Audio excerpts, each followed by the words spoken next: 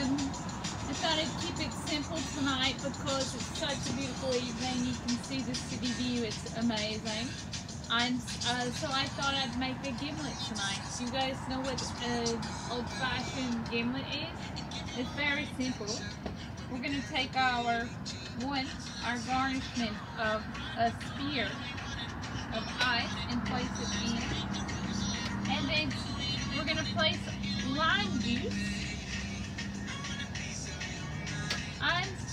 we have our Tito's vodka. And we're going to place it in. And that's the gimlet. I'm going to wedge it with a nice lime. And a little more lime juice on top. And there we have it this evening. A beautiful gimlet. Enjoy. I'll see you guys.